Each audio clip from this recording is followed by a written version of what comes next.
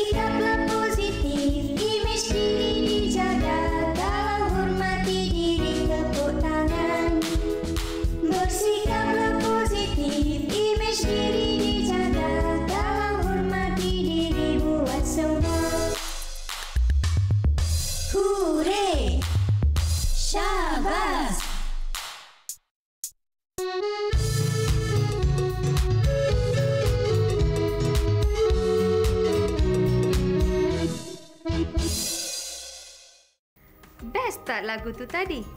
Best kan? Ha, apa yang murid-murid faham tentang lagu itu? Apa? Hormati diri. Ada lagi? Hargai diri. Hmm, bagus murid-murid cikgu ni. Jadi, dah tahu apakah tajuk pembelajaran hari ini? Hebat murid sekalian. Tajuk pembelajaran hari ini adalah Hormati Diri di Sanjung Tinggi. Maka, murid-murid dah tahu apakah nilai moral yang akan kita kaitkan dengan tajuk pelajaran hari ini? Iya, betul. Nilai hormat. Pandai murid-murid. Jom kita lihat apa itu hormat. Sebelum itu, Murid-murid, sila rujuk buku teks pendidikan moral Sekolah Kebangsaan tahun 1 halaman 26 hingga 30. Secara umumnya, nilai hormat membawa maksud menghargai dan memuliakan seseorang serta menghormati institusi sosial.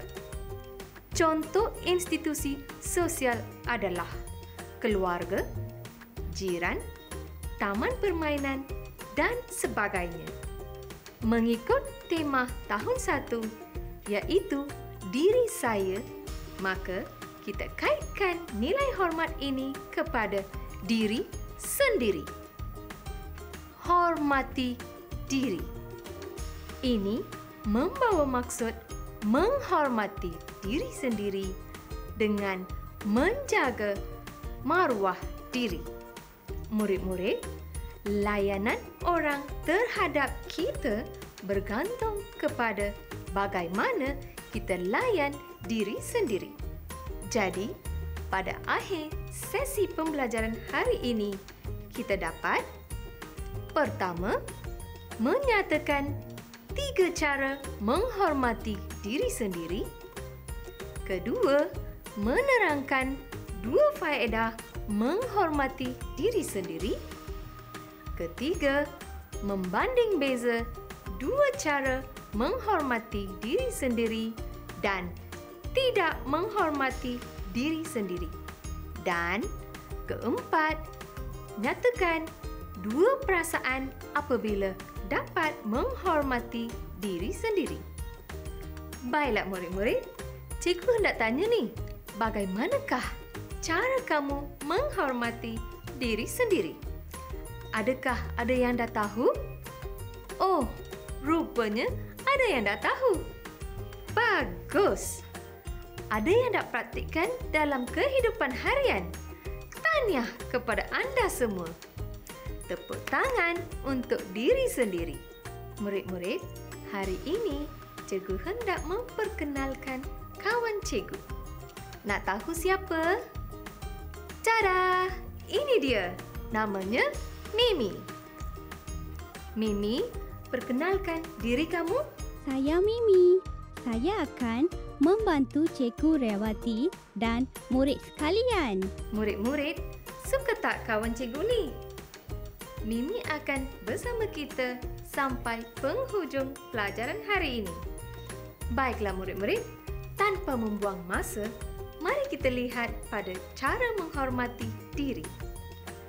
Cara menghormati ini boleh dikaitkan dengan jasmani atau fizikal kita. Mari kita lihat beberapa contoh cara menghormati diri sendiri. Mimi Cikgu hendak Mimi jawab soalan-soalan cikgu ni ya. Baik, Cikgu. Saya akan cuba. Contoh cara menghormati diri adalah seperti berikut. Mimi, sila lihat gambar ini. Apakah yang Mimi dapat perhatikan? Ha, saya tahu. Saya tahu. Dia menggosok gigi. Dalam sehari, berapa kali kita kena memberus gigi? Sekurang-kurangnya, dua kali sehari cikgu, kita perlu gunakan ubat gigi untuk memberus gigi. Pandai Mimi. Mimi, lihat gambar kedua ini. Apakah yang dia sedang lakukan? Budak itu mandi cikgu. Bagaimanakah kita perlu membersihkan diri? Kita perlu mandi dengan bersih sekurang-kurangnya dua kali sehari. Kita perlulah menggunakan sabun mandi bagi membersihkan badan dan syampu untuk membersihkan rambut. Hebat Mimi. Mimi, lihat gambar ini pula. Bagaimanakah kelihatan mereka? Mereka kelihatan berpakaian kemas. Kita perlulah sentiasa berpakaian sopan dan kemas. Kita harus peka terhadap penampilan diri kita.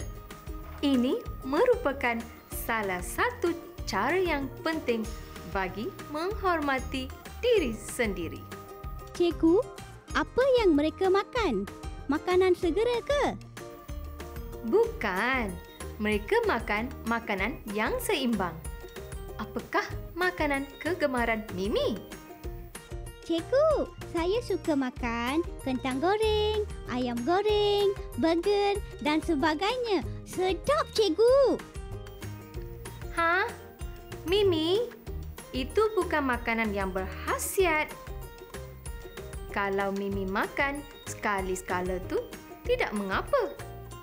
Lepas ini, makanlah makanan yang seimbang dan berhasiat supaya badan kita sihat selalu.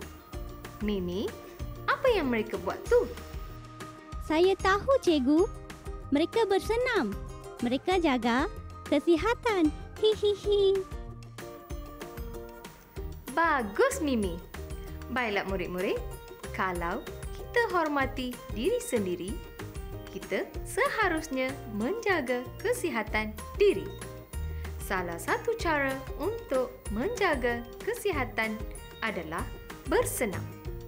Luangkan masa untuk bersenam supaya badan kita sentiasa sihat dan cergas. Baiklah Mimi, apa yang Mimi perhatikan dalam gambar ini? Saya tahu, cikgu. Dia sedang tidur. Tahu tak Mimi, berapa jam yang kita perlukan untuk tidur dalam sehari? Ya, cikgu. Kita harus tidur tidak kurang atau lebih 8 jam sehari. Pandai Mimi. Murid-murid, sekarang mari kita lihat beberapa cara menghormati diri dari segi rohani. Rohani membawa erti pendidikan yang berkaitan dengan jiwa. Menghormati diri dari segi rohani sangat penting dalam diri seseorang. Ayo kita lihat cara menghormati yang seterusnya. Mana Mimi ni? Mimi? Oh, Mimi. Ya, cikgu. Mimi, cuba teka apakah yang dia sedang lakukan. Wah, rajin belajar. Sekiranya kita siap semua kerja rumah dan rajin belajar, ibu bapa atau guru takkan marah pada kita. Betul tak, cikgu? Betul, Bimi.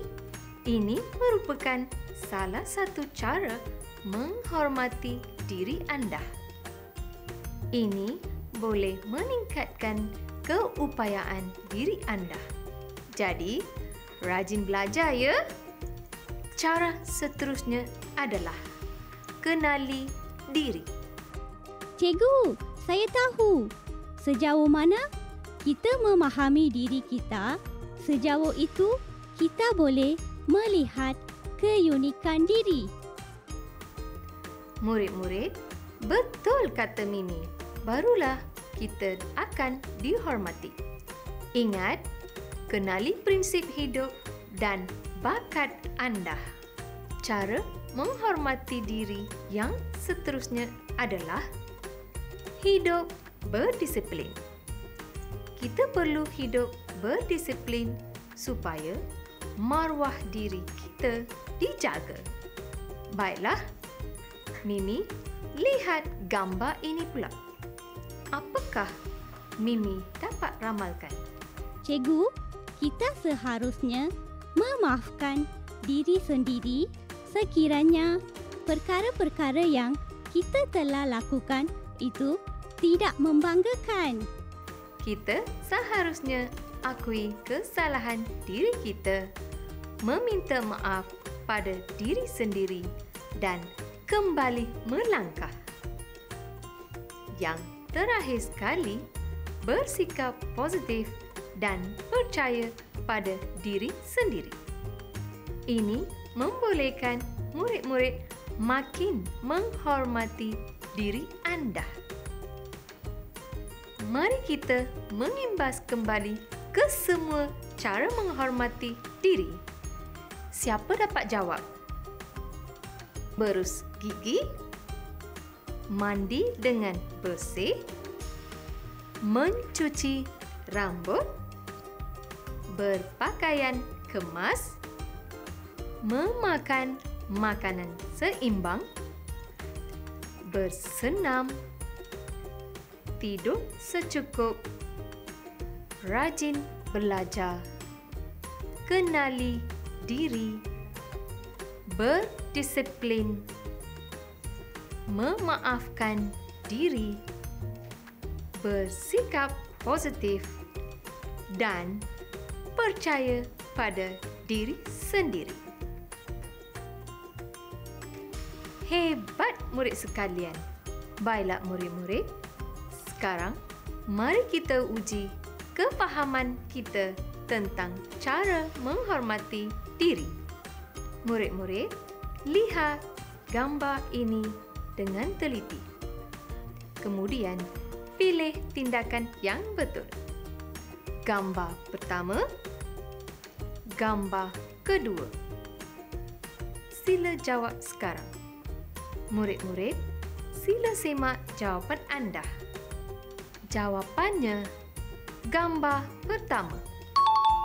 Kita seharusnya makan makanan yang berkhasiat dan seimbang demi menjaga kesihatan kita. Murid sekalian, lihat gambar-gambar berikut. Pilih tindakan yang menghormati diri. Gambar pertama, gambar kedua. Pilih tindakan yang betul. Kalian sila semak jawapan anda. Ya, jawapannya adalah gambar kedua. Kita tidak seharusnya bergaduh sewaktu main. Malah, perlulah bermain bersama dengan berkongsi alat mainan kita dengan orang lain. Dengan ini, marwah diri boleh dipelihara. Tahukah murid-murid, mengapakah kita perlu hormati diri sendiri? Apakah faedah yang kita akan dapat? Yang pertama, marwah diri dipelihara dan akan dihormati ramai. Sekiranya anda menghormati diri anda, orang lain pun akan menghormati anda dan marwah diri pun akan terpelihara. Yang kedua adalah disukai kawan. Sekiranya murid sekalian hormati diri, sudah pastinya ramai kawan suka anda untuk berkawan. Betul tak? Jadi, sesiapa yang ingin mempunyai ramai kawan, hormatilah diri sendiri dahulu. Dan yang ketiga, kita akan disayangi keluarga. Bukan sahaja keluarga, malah semua orang akan menyayangi kita. Kalau murid-murid hormati diri sendiri, semestinya kita buat semua perkara dengan baik. Dengan ini, sudah pastinya semua orang menyayangi kita. Baiklah murid-murid, mari kita banding beza cara menghormati diri sendiri dan tidak menghormati diri sendiri dalam beberapa situasi. Cikgu rasa Mimi boleh terangkan. Boleh kan Mimi? Saya cuba, cikgu. Bagus Mimi. Mimi, katakan dua murid baru ini datang ke sekolah. Siapakah yang Mimi akan pilih untuk berkawan? Dan mengapa? Cikgu, sudah pastinya Mimi pilih murid yang berpakaian kemas kerana dia hormati dirinya. Manakala murid yang tidak berpakaian kemas akan dibenci oleh orang lain kerana dia tidak hormati diri dia sendiri. Hebat Mimi ni. Tanya Mimi. Mimi, dalam situasi ini, ada yang makan makanan segera dan ada yang makan makanan yang seimbang. Siapakah yang menghormati diri sendiri? Ini bukan. Ini betul. Kita perlu menjaga kesihatan kita dengan mengamalkan amalan pemakanan sihat. Ya, betul jawapan Mimi. Sekiranya kita selalu makan makanan segera, berat badan kita akan bertambah dan mudah jatuh sakit. Mimi, lihat situasi ini. Ada seorang budak merosakkan harta benda dengan menconteng dinding di tempat awam. Ada seorang lagi murid yang memarahi terhadap budak yang menconteng itu. Tindakan siapakah yang betul? Kelakuan merosakkan harta benda tidak baik. Budak ini tidak mematuhi peraturan. Budak yang menegur kawan untuk tidak conteng adalah contoh murid yang mematuhi peraturan dan seterusnya menghormati diri sendiri. Tepat jawapan Mimi. Syabas Mimi. Mimi, Mimi suka kelakuan yang mana satu dalam situasi ini. Dan beri penjelasan kenapa Mimi pilih kelakuan itu. Saya pilih gambar pertama. Ada budak yang menolong orang tua untuk melintas jalan. Ini merupakan kelakuan diri yang baik dan akan dipuji. Ya, betul kata Mimi. Dalam gambar kedua ini, budak itu ambil suah foto atau selfie tanpa menghiraukan orang tua yang bersebelahan dengan dia. Ini menggambarkan budak itu tidak memiliki ciri hormati diri sendiri kelakuan diri merupakan aspek penting dalam hormati diri sendiri. Mimi, lihat situasi ini. Siapakah yang bersikap positif dan berkeyakinan diri dalam situasi ini? Gambar ini betul dan gambar ini salah. Tepat jawapan Mimi. Kita semestinya terima diri kita. Ingat selalu bersikap positif dan cinta akan diri anda, murid-murid. Murid-murid, mari kita uji kefahaman kita. Fahami situasi berikut dan cuba lakukan tindakan yang patut dilakukan demi menjaga maruah diri. Situasi pertama. Dato dan nenek datang ke rumah kamu. Apakah tindakan yang boleh menjaga kelakuan diri anda? Cuba fikir dan lakukan. Bagus murid-murid. Sekarang sila semak bersalaman dan bertanya khabar. Kita seharusnya bersalaman dengan datuk dan nenek yang datang ke rumah dan harus bertanya khabar mereka. Kita juga perlu beradab sopan dan sentiasa menghormati mereka. Murid sekalian, mari kita lihat situasi ini. kamu melihat seorang tua berdiri di dalam bas. Kelakuan apakah yang boleh menjaga maruah diri anda? Lakukan situasi tersebut. Adakah anda lakukan tadi? Hebat murid-murid. Cuba semak sekarang. Berikan tempat duduk kepada orang tua itu. Ini merupakan kelakuan diri yang boleh menjaga maruah diri kita. Murid sekalian, mari kita lihat tentang perasaan menghormati diri sendiri. Yang pertama adalah kita akan berasa bangga. Yang kedua, kita akan berasa gembira dalam kehidupan harian kita.